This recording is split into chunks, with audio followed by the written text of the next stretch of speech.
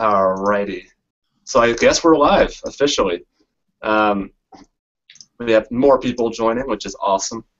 Um, I might as well just wait a couple minutes and see people are kind of popping in. Shelly, hey. How's it going? Pretty good. Anything exciting going on? Uh, I was eating food. Is there a way where I could like turn off the sound so I could still eat and not like bother everybody? You Yeah, can so totally mute under yourself. your- Yeah. Huh? Yeah. You yeah you can mute top of your yourself if you. Jason and I are talking at the same time. Go ahead.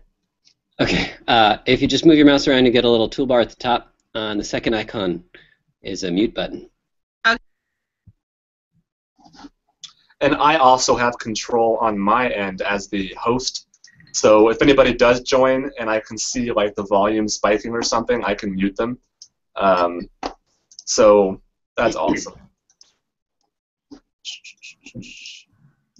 So there's going to be quirks, there's going to be hangups, but having this being broadcast on YouTube should help out quite a bit. I'm expecting that um, most of the people that will probably see this in the future will be on you know the YouTube stream. Um, so we're just going to hang out and not you know take anything too seriously, I guess. Um, so this is um, I might as well just start going. Um, Do it. I mean, geez. So, uh, if anybody that is watching doesn't know who I am, uh, my name is Jason Webb, and I'm a maker based in Nebraska. Uh, I'm finishing up a master's degree in instructional technology. Uh, and then this summer, I'll be going to the Omaha Children's Museum to work as a Maker Corps mentor. Uh, and one of my co-mentors, Shelly, has joined to hang out, so that's cool. um, so what I do as part of my graduate degree is um, I have a background in, in computer science and with electronics engineering. Uh, they used to be hobbies, and I kind of turned them into what I want to do for a living. Uh, and that kind of got rolled into my educational background, uh, what I've been doing as my degree. So now I combine them both, and I'm trying to find ways of bringing advanced, interesting, contemporary technology uh, things that seem really simple and obvious to people that are in the makers movement, uh, but bringing that kind of to a simpler level so that people who have never heard of the Makey Makey, never heard of the makers movement, or have ever played with electronics or programming, um, hopefully they can gain something out of this. Um, so this assistive technology workshop, we're going to be looking at how to use the Makey Makey, and I'll explain what that is in a little bit if you don't know what that is. Um, and what I was doing last year was I realized that there's a lot of problems um, that are actually pretty easy to solve for engineers in the world of uh, assistive technology. There's a lot of technology out there, but if you have had any experience with building your own interfaces for people that need them, um, I'm willing to bet that most of the things that you found, if not all the things you found, are extremely expensive, um, very hard to use because they're based on relatively old design principles and not a lot of documentation. Um, so now with the makers movement and with open source hardware, uh, there's a community that supports each other, uh, and that's how I got involved. I realized um, what's simple to me, making you know uh, a big red button that hits the spacebar for you. Um, that seems like it's almost not even worth doing because uh, it's so easy to do. Uh, but then you talk to people in your community that might need that thing, and you can just blow their mind because that kind of thing would cost $100, $200 the traditional way without having that skill set. Um, so we're just going to be looking at using one device uh, called the Makey Makey. And with us today, we actually have Eric Rosenbaum. Hope I'm pronouncing that right. Um, Sounds good. he's one of the co-creators, co-inventors of the Makey Makey kit. Um, you're still a student, uh, uh, master, a PhD at the MIT Media Lab. Is that right? Still working on it. Should That's finish awesome. PhD up this summer. Stay there as long as you can. That's that's heaven on earth as far as I'm concerned. So a you can great get be. Yeah. a lot of good stuff done. Um, so uh, him, Eric, and his partner Jay Silver, uh, they developed a kit called the Makey Makey, and you buy it for 50 bucks. You get a box like this, and it's packed full of stuff. You got a circuit board, you have some USB or USB cables that it plugs into your computer, and you have some alligator clip wires and bare wires. Um, and what we're doing today is figuring out how to take this kit, which um, will make a lot more sense in about five, ten minutes, and see how we can construct interfaces out of cardboard and aluminum foil and found objects um, to create an interface that is built for a specific user for specific tasks um, so that you can cheaply and quickly um, just hack together things to help people use their computer more easily. Um, so right up front, I want to say that I'm not a trained assistive technology professional. I'm not an occupational therapist. Um, if you are using uh, this technology for someone who genuinely has a need, um, most of the time they are working with or have contacts with um, an OT, an ATP, somebody like that in their lives.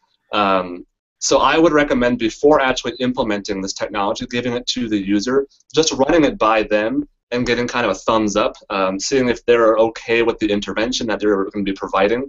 And most of the times they will, um, but there are certain things that I might not be aware of just being on the outside of the field. Um, and for example, what's most obvious to me is creating interfaces for people that have a physical disability.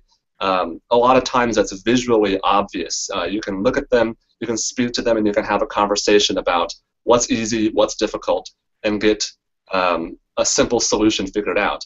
Uh, what's more difficult for someone like me is uh, behavioral or cognitive disabilities. Those are equally important. Um, and AT does play a role in uh, those people's lives, um, but I don't have personal experience with people with those types of disabilities. So uh, if you're able to work with someone in a position like a speech language pathologist or anybody who's uses technology for therapy or in some way for that person, uh, I highly encourage um, getting feedback from them. You know, you can make your ideas, sketch them out, design a prototype out of cardboard, um, and get some feedback, and, and, maybe you can learn something and they can learn something. Um, this is really the uh, a stepping stone for uh, some discourse in the future. So, um, I think let me make sure I'm getting everything I want to say.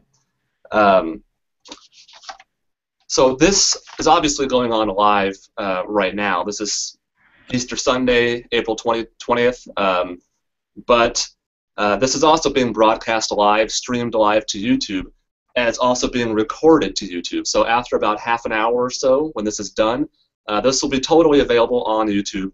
Um, so the way I'm going to take advantage of that is to keep the actual live workshop um, down so that no one's here for two, three hours, you know. I'm going to try to keep this down to about 30 to 45 minutes. Um, so there will be spots where I'll say, um, you know, now pick up this device and try to hack something together. You know, whenever you would do some work, um, watch the YouTube video afterwards and just hit pause, do whatever you want to do, come back to it in a day. Um, I'm going to just run through the entire process and kind of help you figure out from beginning to end um, how to use the Makey Makey in general to, to make AT interfaces. Um, so the biggest question, the most obvious question that everybody's probably going to have is, um, what is the Makey Makey? I showed you the circuit board and the kit, um, but for people that uh, are not technology people, or even people that are technology people, uh, this is still a really innovative device because um, it does things that we're familiar with. It allows us to uh, hit keyboard keys and mouse buttons and create mouse movements on our keyboard or on our computer without actually having an actual keyboard or mouse. So the circuit board has some programming and some electronics built into it that allow you to plug in a USB cable to your computer so that this circuit board, when it's plugged into your computer, it looks identical to a keyboard and a mouse, a USB device. Um, so there's no drivers to install, there's nothing special to do, and I think that's a, a big selling point for assistive work, technology work, uh, because you can actually plug this into a computer, for example, um, that might be locked down if you're a teacher and you have a, a laboratory environment. Um, sometimes you have to have a special computer for this one person who might need it.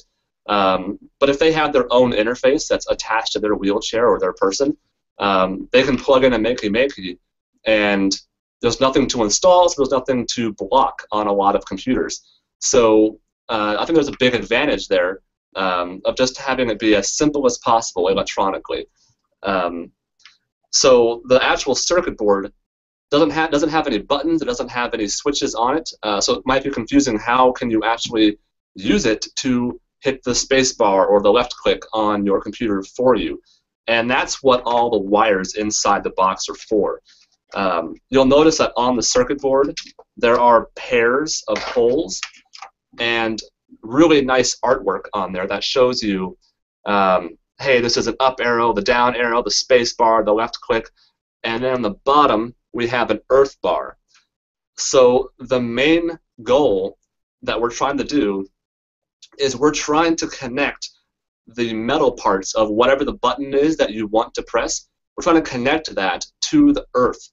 Um, as soon as the Makey Makey sees that, um, that say for example the space bar is being touched to the earth bar, uh, it will automatically hit the space bar on your computer exactly as if you had hit it on your normal keyboard. Uh, and it includes a lot of little alligator clip wires. You can just take these and clip them right on to the pairs of holes. And as soon as you clip this on or touch it to the earth bar, the light will turn on on the top of that uh, function, and the key will be pressed on your computer for you. Um, and that's how everything on this board works. That is literally the only thing that you have to know is to find ways, creative ways, to connect the functions of the Makey Makey board to the earth bar. Um, and using a wire is probably the most boring way you could do it because it is designed to um, go through different kinds of objects. So, for example, uh, if I had one of these alligator clip wires and I clipped it onto the space bar and I just held the other end with my hand, whenever I use my other hand or any part of my body to touch or tap the earth bar, that will also work. It's going through my body. It's sensing the connection through whatever I'm touching. Um, so you can use many, many kinds of objects. Anything that is even slightly conductive uh, will work.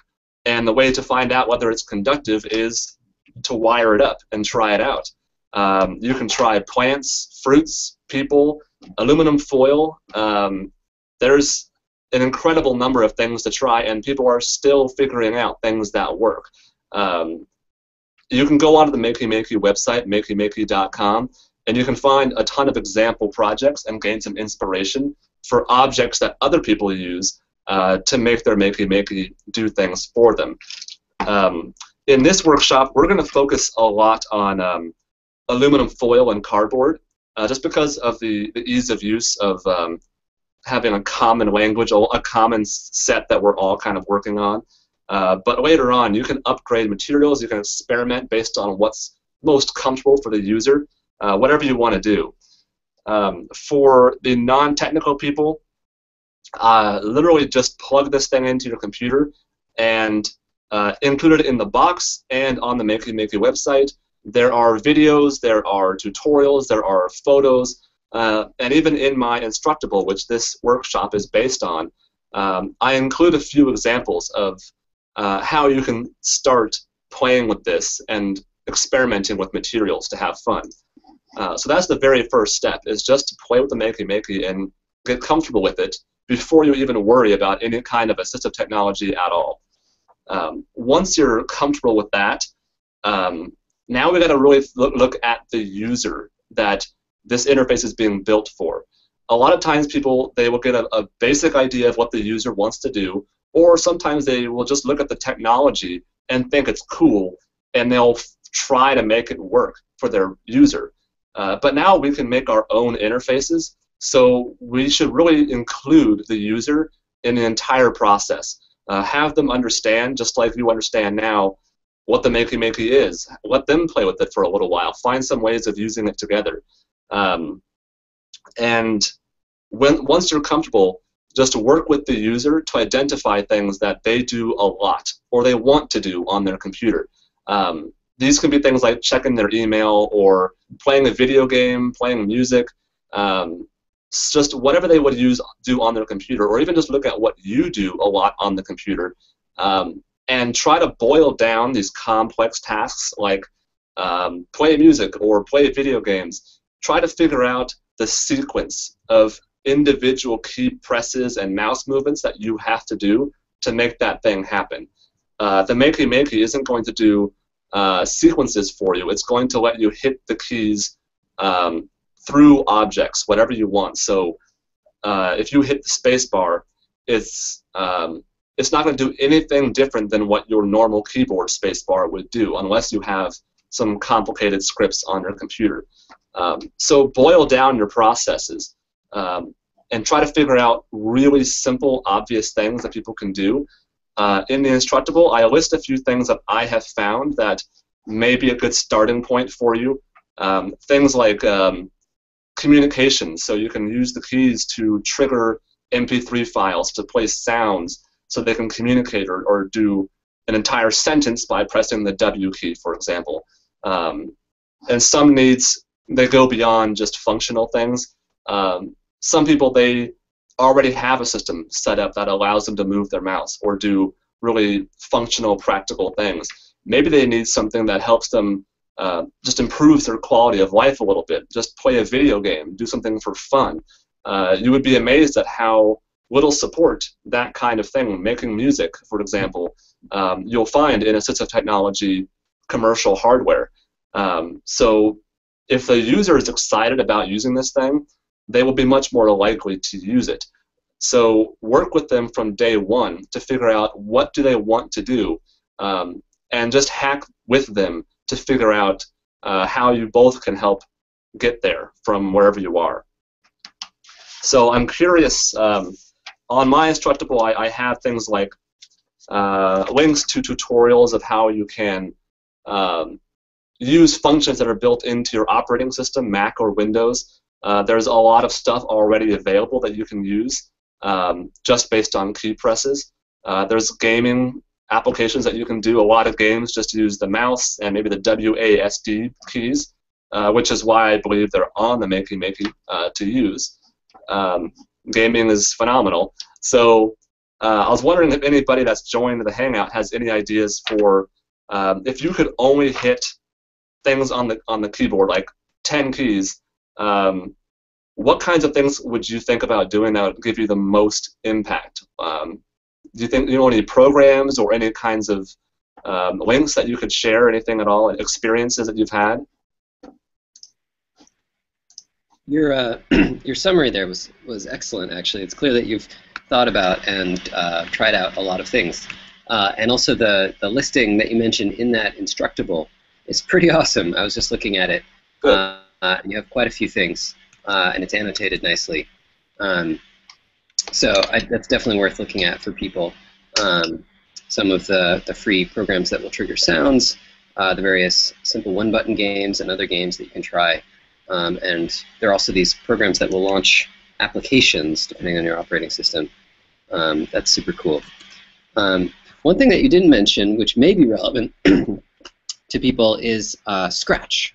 Yes. Um, so Scratch is a free, uh, friendly programming environment. It was designed also by the same research group that I'm that Jay and I are part of, um, and it goes like peanut butter and jelly with uh, with the Makey Makey because it's one of the easiest ways that I've ever seen to make something happen when you press a key. Um, but with Scratch, you get to choose what happens. So instead of relying on someone else's software, you can program it yourself.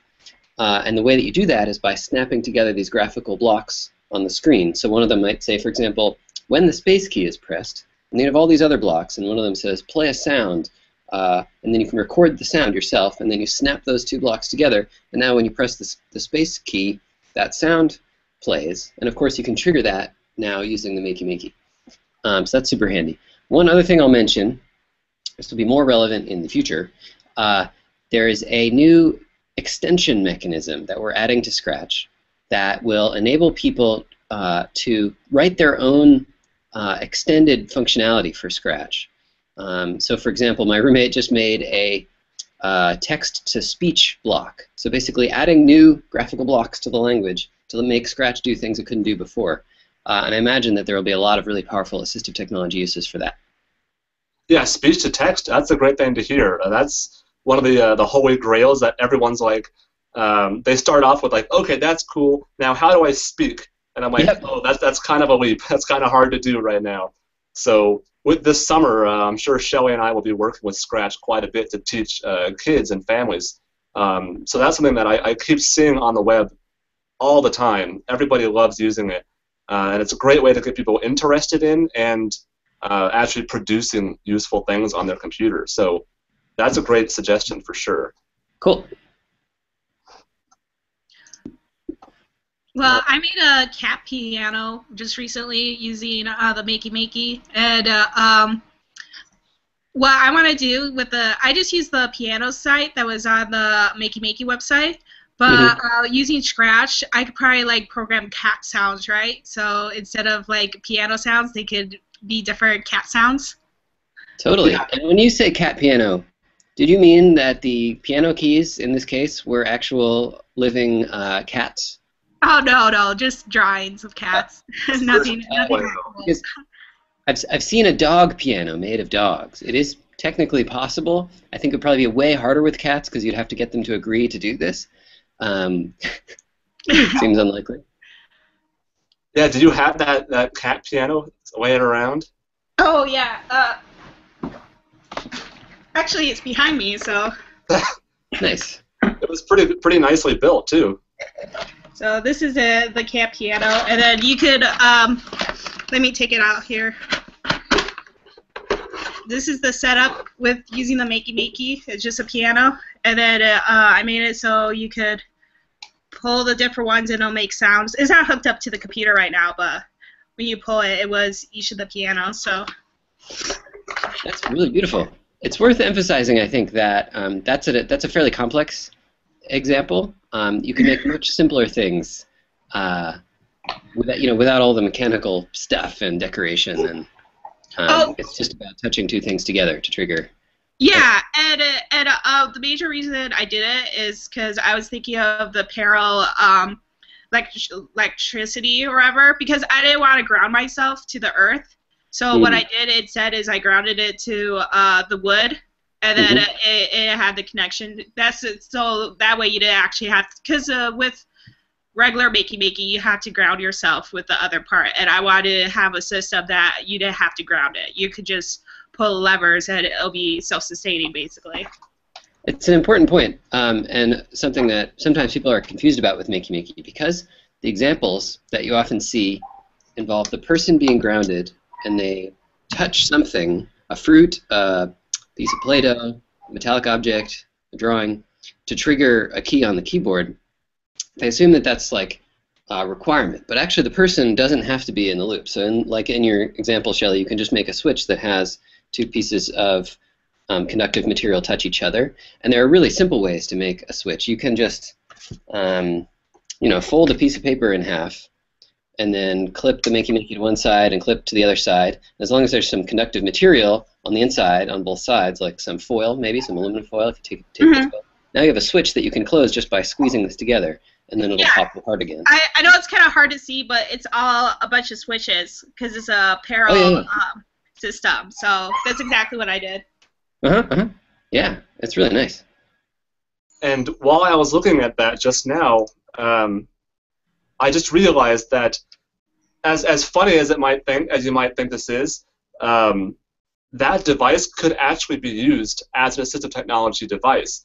Um, there are people that use that need to make their own really specialized interfaces uh, to do therapy. So, for example, uh, you can go online and buy a, a pull switch that's just a cord that you pull on, and that person gains the ability to uh, they're they're tr- they're testing out, they're training their dexterity and pulling motions, um, and that could be uh, an occupational therapist kind of application where that that could lead them to practice how to open doors or to, to grab objects. And uh, that kind of thing, especially with the uh, the tabs being small popsicle sticks, uh, that requires the person to use a couple of fingers to grab it and then pull it. So by using a device like that, a person could um, you know, um, do some rehabilitation if they have wrist or finger problems. Uh, and the idea would be that if the person, if the occupational therapist knows about the makey makey and is free to be creative, um, they can make 50 of those types of things out of cheap materials uh, for really specific movements and tasks and Yeah. have them all be built in a day instead of having to research and buy and wait and all that. For example, um, in, instead of the little popsicle stick, which would require two fingers, so that's a certain type of task, you could instead imagine having like a loop of wire or something Yeah. attached to it. And then you wouldn't have to use any fingers at all. As long as you could, you know, get in there and pull, that would be a totally different task. But all it requires is just attaching something different to those popsicle sticks. And you can build both, and they're still a tenth of the cost of commercial use. Yeah. Could, Correct. could you use like Scratch and other programmings? I'm sure you can, uh, where you can you even measure like how much pressure the pulling it does. Like uh, I, I don't know exactly what would go into there, but like you, where when you pull it, you can actually measure the weight and everything too. So a limitation of the Makey Makey is that it's really just about on and off. So it can't really measure continuous um, quantities like that. Um, so that would require going to another another system with sensors. It's definitely doable, and maybe the Makey Makey is a way for people to start to build simple things uh, and then get into more complex uh, systems. Definitely. Um, yeah, and I think um, what we're going to talk about now is that um, once we kind of know what the, the person wants or needs to do, and we get an idea of what they're capable of doing, uh, on my Instructable, I have, let me share the screen. Um, I have a chart that you can go in and fill out. Um, so you can find a person and you can go through all their individual movements and kind of gauge how difficult or how easy relative to each other each of these movements are. Uh, so you can have a, a kind of a list to choose from of, uh, okay, they can move their elbows and they can move their fingers okay. So maybe this cat piano idea would be a, a possibility or pop into your head after that. So this you can combine with the, um, the needs and get a kind of picture of um, okay, now what can I build that uh, they can do what they um, they want to do using what they're able to do. And um, let's see, I have um, some examples to kind of get you going of interfaces that I've thought of that might be helpful. Um, you can kind of imagine these things as, as uh, early prototypes. Uh, just think of bridging connections on the Makey Makey. Just like Eric and Shelley were talking about, um, the person doesn't need to be physically clipped into or touching um, the system. Uh, I'll show you a prototype in a second that I built uh, where they're just bridging two pieces of aluminum foil, so they don't have to actually be wired up in any kind of way. And some people kind of get nervous, uh, believe it or not, if they are totally new to the makey makey or electricity. Uh, if you're wiring up a person, they might go, wait a second, there's electricity going through this person's body, and rather than trying to sit there and explain electricity, you can just go, well, let's build something that doesn't require them to be wired up just to get this going. Sometimes that helps. Um, so I have a bunch of examples that you can go through on my Instructable. If you're watching this on YouTube, uh, in the description below, uh, I'll add a link to the Instructable so you can go and check all these images and, and figure out what's good. Um, and these are all based on uh, specific kinds of movements. For example, this person maybe maybe they can move their knees up and down. Um, that would be enough for them to just touch their knees through like aluminum foil knee pads to a bar that's laid over their armrests. Uh, maybe they can shrug or move their, their neck. You can tilt uh, to their um, to their shoulder and have patches on their on their clothes of some kind, or maybe just tilting left and right and touching um, contacts that are on their sides in their wheelchair. Cool. Um, so these are ideas um, that I thought of in a few days just based on randomly filling out that body mobility chart and seeing, um, okay, if they can only move these things in this way, how do I put aluminum foil on cardboard in their way so that they can actually touch it and be comfortable? Um, so what I've done is um, kind of got the process going. If you have ideas for sketches, even if they're just on paper, um, you can comment on anything, leave me a note, and I'll put them in here, and people can just keep sharing. Um, and don't worry about whether or not this will be a perfect solution right away. At this phase, we're just trying to figure out what are some possibilities.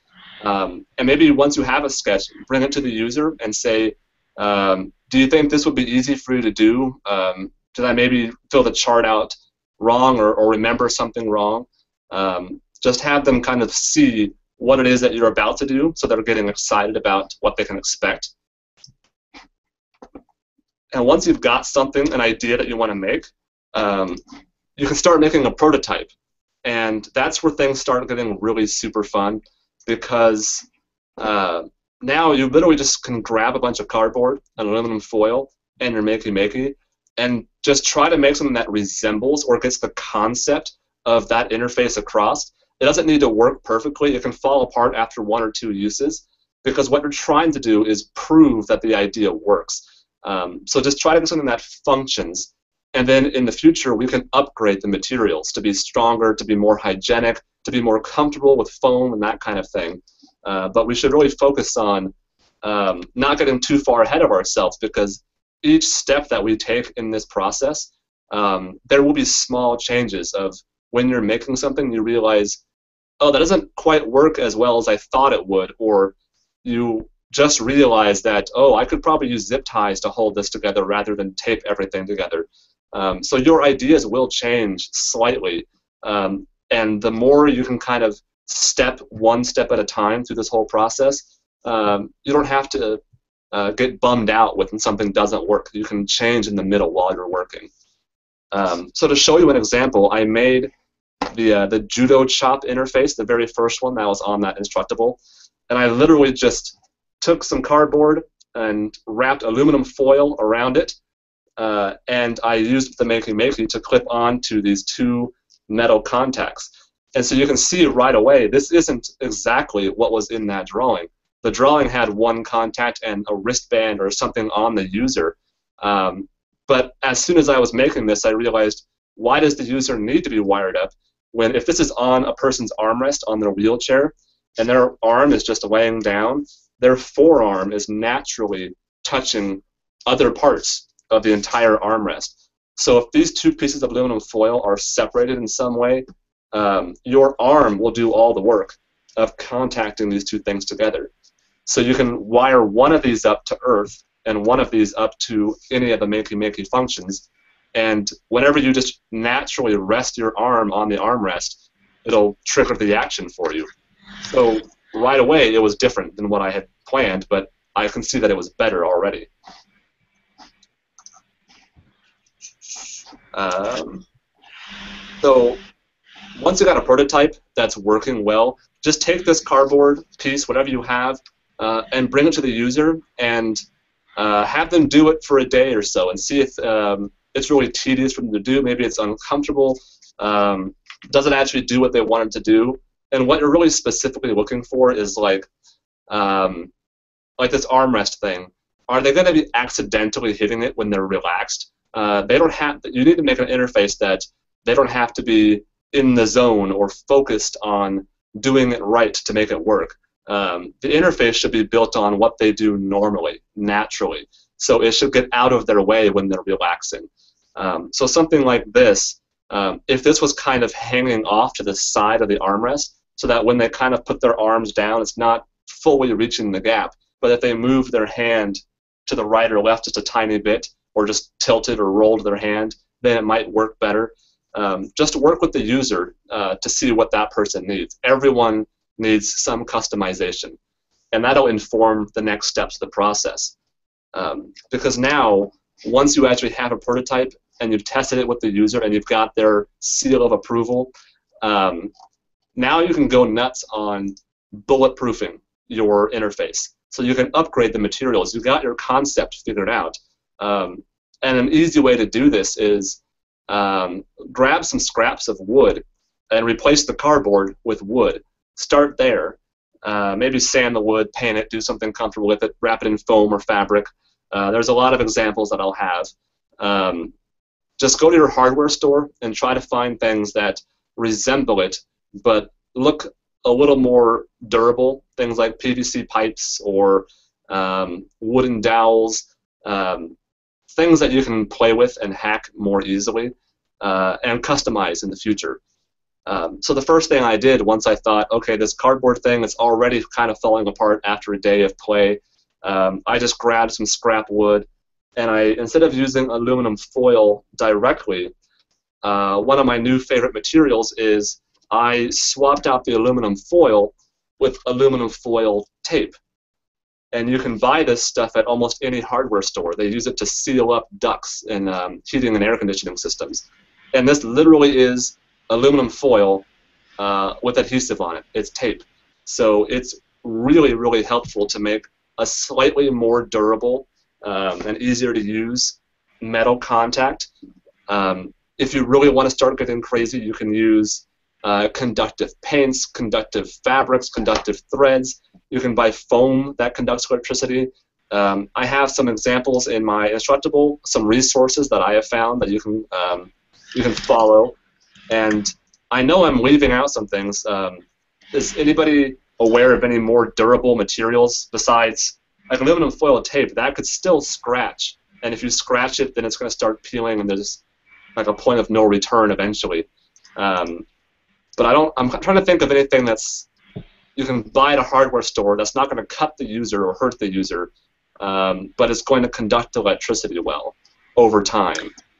So generally, any small metal objects uh, could be in that category, right? So you could imagine um, just like a little metal, you know, a bracket or something. As long as it's not coated in such a way that it's not conductive, that should work, and you can clip right onto it. Um, maybe even solder to it if that's going to work better.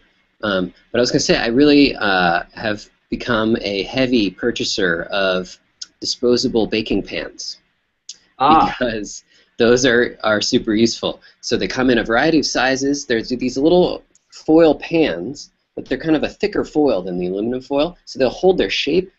Um, and they're great for workshops because they're fairly cheap, but you can and so you can cut them and shape them.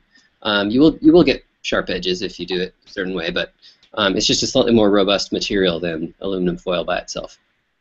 Definitely. Are these kind of like um, the metal pie tins that I'm thinking of? Yeah, yeah, disposable aluminum foil baking pans. Yeah, um, I think there's Little a ones, huge ones. There's a really awesome uh, video. It's like 30 seconds long. Go on there. It's yeah, that's that's the kind of thing. Totally. So this woman, I, I was uh, happily surprised because um, you know you wouldn't think she's a technology person. You can see she's kind of being ginger with it. She's not sure, um, but the technology is accessible enough that she can be like, "This is fun. I can experiment and play with things." And she makes a solution that um, is really obvious to her. Um, and those are the kinds of solutions that you should be looking for, are things that anybody can look at and go, "Oh, that's pretty cool. I want to use that." So you know, this isn't just for engineers who have to make really solid, awesome solutions.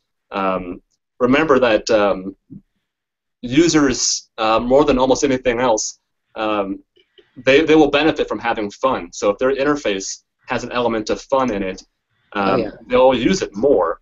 So going on the idea of like a metal bracket or a hardware store thing. Or like uh, a piece of, you know, like a fork or a spoon or something. yeah, exactly. Um, oh, those um, sponges that are like a metal, kind of a mesh. They're a little sparkly looking. Yes. Just, you know, they're next to the foam sponges. Steel wool. Market. Um, but there, there's a variety of those that are conductive, and they work great. Actually, especially because they make good. Uh, they have very high surface area, you know, because they're crinkly, so they they make good contact with your with your skin.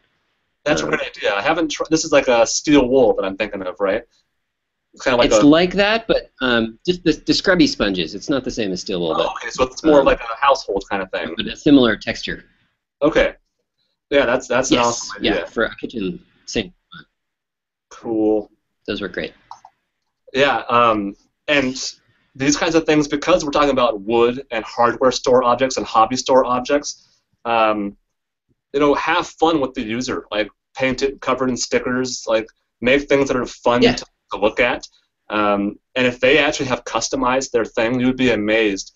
Um, like every single person who has uh, prosthetic devices, I was just watching a video maybe like a week or two ago uh, where someone had printed out like a new kind of robot hand, one of these uh, 3D printable $50 robot arms. Um, and one of the first things that this kid does when it, when she gets it is she goes, "Can you print that off in pink?"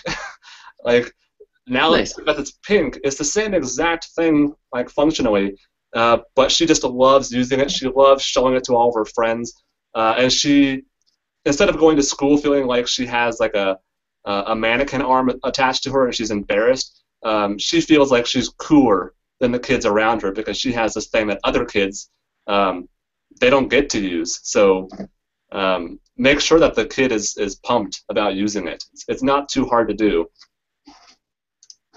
They can participate with you in the design, of course, and that that also carries a lot of meaning with it. Not just decoration, but really shaping the the core functionality of it.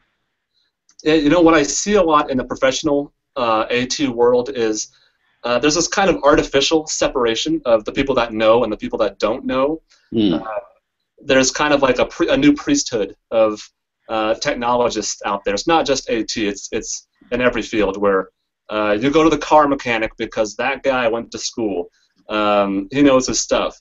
Uh, but with technology, you can Google it. You can play with it. And with the Makey Makey, uh, for 50 bucks and found materials, um, you and the user and anyone else can work together to learn new things. And it's I think it's a a new model for not just education and AT, but um, for how we consume things, how we work together. So uh, I encourage people to have the users, the intended audience, included in the entire design process uh, because that serves uh, the empowerment role. They get to feel like they're um, they have a say in what they're going to be able to use in the future. Uh, but they also have a there's a functional goal that um, they they have a, a real um, you know ability to give feedback and say um, why not do it this way? I don't want to use it that way, um, and that can that can make them feel a lot better about the exact same same work. You'd be amazed at how little sometimes um, people are involved. Um, sometimes the person who's in charge, you know, they'll use they'll they'll find the person. They know what that person can do. They know all these things ahead of time, and they go, oh, they should benefit from this eye tracking software. So they, they buy a $10,000 piece of equipment, and the person, they have to spend three to, three to five months with a professional by their side being trained on how to use this thing. And what happens when that person doesn't love using that thing? Um, well, now they're kind of stuck. They have to use that thing. So uh, they will, you know, they'll find ways of being human. They'll be well, I'll use it for one hour a day, you know, I'll do this. Uh, but if they're involved in this process from start to finish and they're really excited, um, your thing will probably you'll probably need to make like two or three of these because they might use them so much that they kind of wear down or uh, get used a lot. So make a lot of alternative interfaces that are like today I want to have a red one, today I want to have a green one. Um, small things like um, one day they have a bracket from like a um, uh, like a cabinet in the kitchen. The next day they could have a doorknob that they have to turn. Um, just keep replacing the objects, and they can kind of have a renewed sense of um, discovery as they go. Um, so what I did was I had that aluminum foil tape, and I taped it onto this piece, and it worked. But immediately I made this thing, and I was like, wait, now how do I wire up the Makey Makey? Like, that means that every time this person has to use this or wants to use this, we got to spend about five, ten minutes of running some cables around them and finding a place to put the Makey Makey that they're not going to run over it or step on it. Um, so the obvious solution was just to make a longer one, make a bigger one, same exact idea, but this way I can zip tie the Makey Makey onto it. And I ran cables and folded over the aluminum foil tape so that it just clips onto um, these contacts. So essentially, this is a completely self-contained interface. Um, you can make a bunch of these different things, and when the user wants to do something like a check an email or use something for a day, just break this thing out of the, the closet. You can strap it onto their wheelchair arm, and they can start using it without having to do anything extra.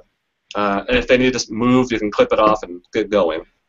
It's worth noting that uh, so that becomes just a USB device. You just run the cable from that thing to the computer. And it's worth noting that you can have uh, a bunch of those potentially connected to the same computer without um, conflict.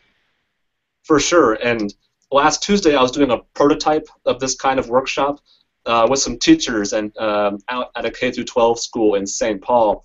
And the first thing they asked was, "So how do I reprogram this to do other keys?" I was like, "Whoa, I wasn't expecting to ask that."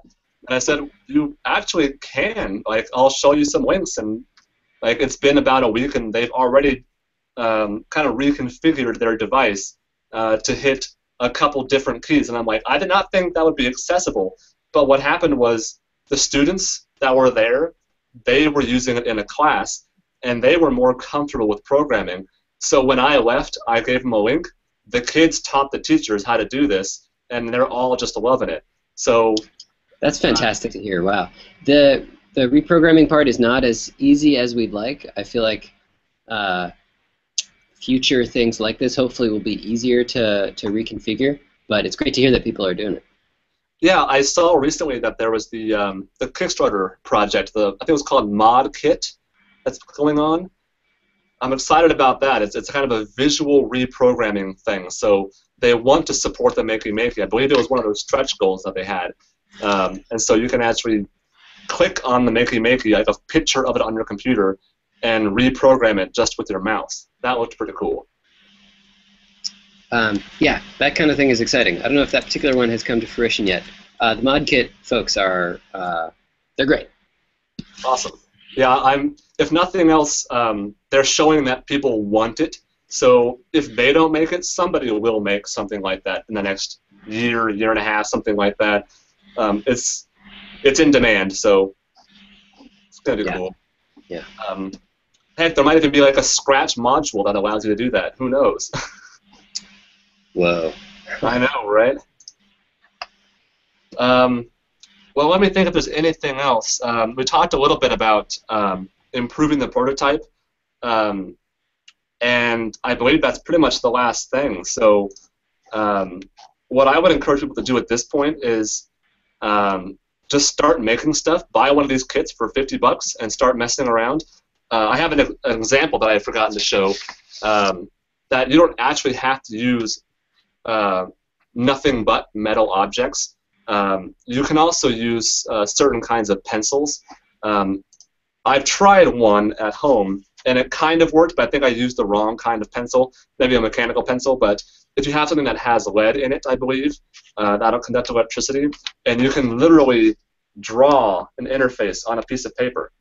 Um, and this kind of thing, it's great for prototyping, it's great for playing around, and believe it or not, just by using alligator clip wires to clip onto the sides of this and run it to my Makey Makey, whenever I touch these bars when I am hooked up to the ground, um, it'll do those things for me. And all I got to do is draw what I want to press. Um, it's true. Um, so yeah, it's the graphite in the pencil that's slightly electrically conductive. You have to draw very dark, thick lines. Uh, it helps to draw with the paper on a very uh, hard flat surface um, and then not to like crease the paper at all because that can break the connection. Um, there are also these conductive paints out there that you can get. I wish they were cheaper. Um, there's a company called Bare Conductive that makes one that works great with Makey Makey.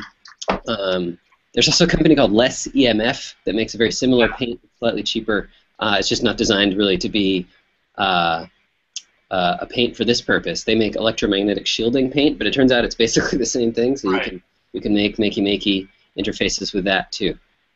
Um, art stores also have graphites pe- pencils that are all graphite with no wood. So I'm pretty sure you could use it directly if you wanted to. So yeah, yeah, that would work nicely. Um, oh, and there's also a new thing called Circuit Scribe, which is a conductive pen. Also, unfortunately, fairly pricey, uh, but that's a silver-based ink, uh, and that works amazingly well. Also, you need not even very much of it to make a touchable interactive uh, drawing. Nice. Yeah, I've heard a few of those, and um, you can go to sites like Adafruit.com and SparkFun.com, and Yep. you can find all of these things. I, I do recommend highly the um, uh, the Bare Conductive. They have these pens and Circuit Scribe. I believe they have pens. Um, they're like what 10, 20 bucks for like a pen, something like that. Um, but the fact that you can draw um, things that you can just start right away using, uh, it, it can be worth it if you're making one-off things like this. Because paper, you can bend it, you can fold it, you can do arts and crafts with it. Uh, there's, I'm sure there's people at, um, you know, at MIT that there are at the High Low Tech group. They're doing like pop-up books using um, conductive thread and, and fabric and, and paint. And um, I have some other objects. There's a, a woman named uh, AnnMarie Thomas who teaches, I believe, at Minnesota University, something like that. Um, she invented the squishy circuits. You know that person? Yeah, I forget the name. Uh, University of St. Thomas, I think. Yeah, that sounds right. Uh, she, uh, AnnMarie's my friend. She's amazing. Yeah. Yeah, she, uh, with her research assistants or graduate students, um, they figured out a way to make flat like dough, like Play-Doh, uh, that is conductive or not conductive just by adding uh, things you'd buy at a grocery store, like um, I think it's like uh, like tartar sauce and uh, lime juice, like random It's- things like this. I don't know the exact ingredients. It's Yeah. worth noting that off-the-shelf regular Play-Doh is pretty conductive as Oh, far as making it yeah. is concerned. The great prototyping material. Uh, the stuff that AnnMarie has done is conductive enough to actually like light up an LED to make circuits Ah, with. So um, that also works great with Makey Makey. that's a good thing to know. The Play-Doh is available everywhere. You can get that anywhere. Oh yeah. So part of Shelly and I's uh, possibility box, we were shipped uh, a really nice collection of objects and things to use over the summer. So we got one of those squishy circuit kits. So oh we, cool. we have the recipe in there, and the recipe is available online if you search for squishy circuits. Um, you can find an actual recipe where you cook this stuff in a pot, uh, and you can make. Um, so you, the the nice thing is you can make the conductive Play-Doh, um, but you can also make the insulating Play-Doh. So you can kind of separate things and they won't touch or uh, cross. So that can be really helpful. Um, other things that I found that you might remember from like um, Shelley's cat piano, uh, she used this copper tape, which again you can buy this at um, hobby stores and gardening stores. Believe it or not, people use this quite a bit. Um, you can line your flower beds with this, and it'll keep snails out of it. I didn't know that. That's where you I've buy only bought So- it on electronics sites. Um, the ones you mentioned before, SparkFun.com and Adafruit.com, they have it as well. It's uh, it is worth being careful as you use that copper tape. You, it, the edges can be sharp sometimes, Mm. uh, but it's very convenient material for this purpose too. I've used that a lot as well. That's good to know. I haven't tried it out yet, so I'm gonna get going right away for sure. Um, I think that's all the stuff that I have on my table of things to show. Um, so at this point, um, it's kind of up to you guys of what you want to learn. Um, on my Instructable, I'm trying to have uh, encourage a little bit of discourse. So uh, if you have ideas for anything, making improvements on things, um, materials that I haven't listed, um, experiences that you've had, like really good interfaces that worked for a specific scenario. Um, I highly encourage sharing just a photo and a note of um, your experiences, and that'll help. That's Other very valuable. Uh, it's amazing how little work uh, you can do now uh, with the with the age of the internet. Like to me, as a student, as a graduate student, um, compared to what I could do, uh, you know, I could spend a year trying to get something published uh, and try to get this like one really specific idea to be accepted by my community. Um, but what I did this semester was I spent about three weeks making an instructable, and I put it online, and I talked to my professors, and I'm like, so why should I publish? And they go, oh, because you can share. And I show them this, and I'm like, well, I've got 15,000 people in a week that have been using this, and they're like, what? It's wonderful. Yeah. Very so sharing is caring for sure. and a little goes a long way too. Um, compared to other things, there are fewer examples, especially visual visual examples of assistive technology projects with Makey Makey. Um, and it's wonderful. It's always wonderful to see them. So I'd love to see more, uh, you know, photos and video of, of, things that people do. Yeah, and like you said, it's so easy. Um, I think we're coming into an age right now where people are sharing a lot um, of their personal lives, um, and I hope we can start encouraging social media of um, important things like uh, professional yeah. solutions.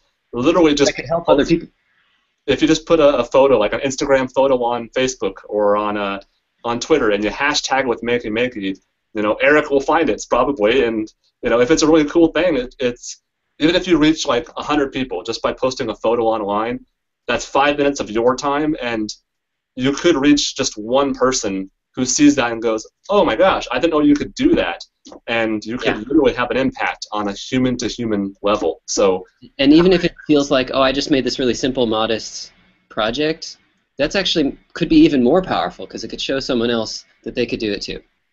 Exactly. Um, we're in the age of technology now where um, things are so complex uh, that they're like people start feeling like if they don't go to school for four years and they're not a nerd um, that they can't take advantage of what is available. Um, but with kids like this, with, with a community online, the makers movement, um, everyone is creative in some way. And just by looking at stuff, if you just Google the term Makey Makey projects or go to the Makey Makey website, they have a project section. You'll find professional musicians making music with fruit and, and water, uh, but you'll also find like elementary school kids and middle school kids like learning how to do things that a lot of adults don't know how to do, but they're learning by playing with technology. So there's a lot we could all learn from that. Hey, Jason, you didn't mention your uh, your add-on board that you designed. Oh yeah, yeah.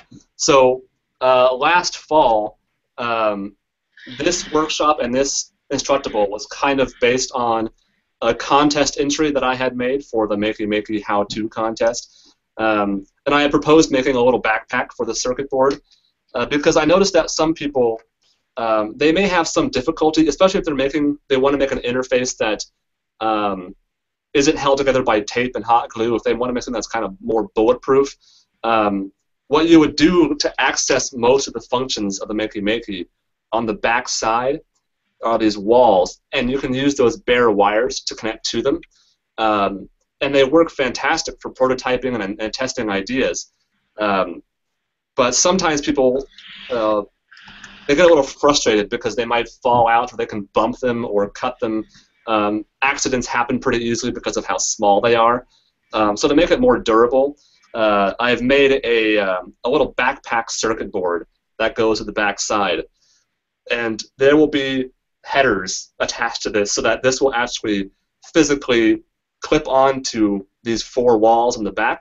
It snaps right on, and it turns all of the functions from wire headers into more alligator clip pairs. Um, so if you want to access anything on the back, uh, there's you can actually move the mouse directly on the back, which is a super super cool function.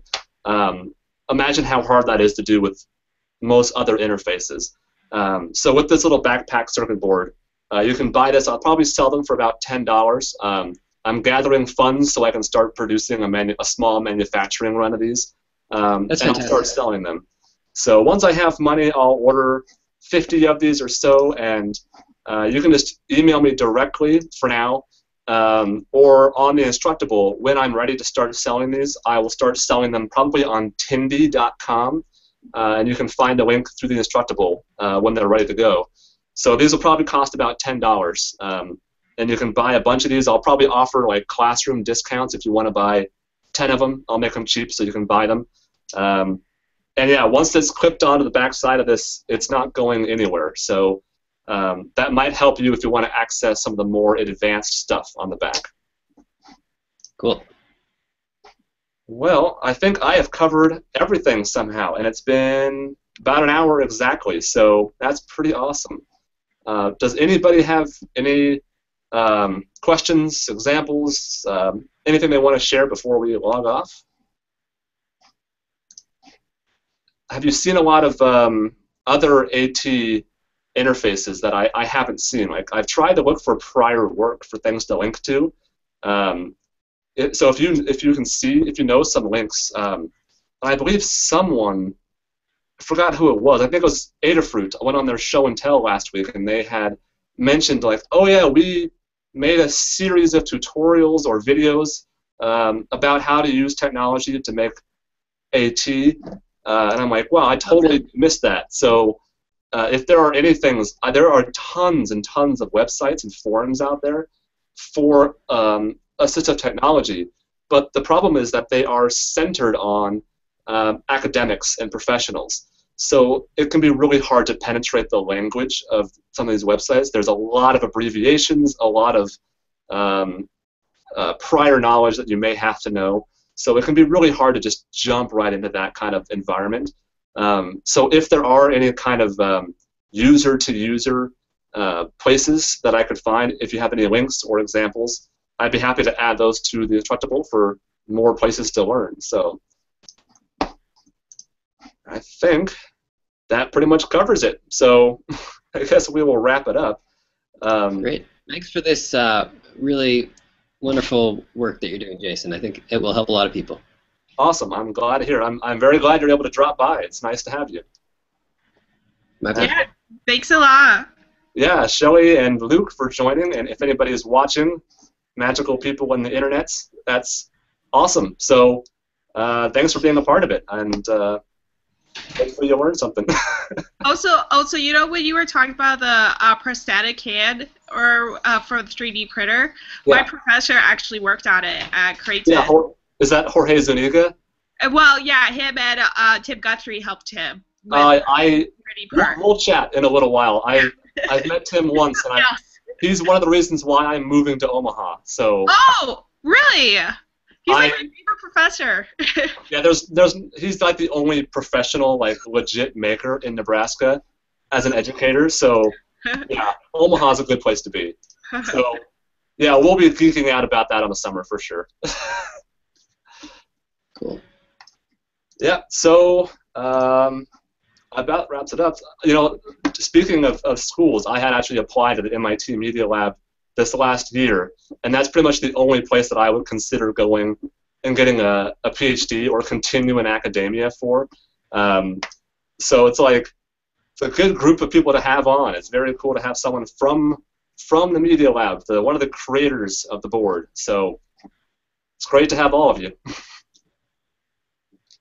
Cool. All right. Well, good night. I'll see you guys whenever. Okay. Have a good one. Bye bye. Have a good one.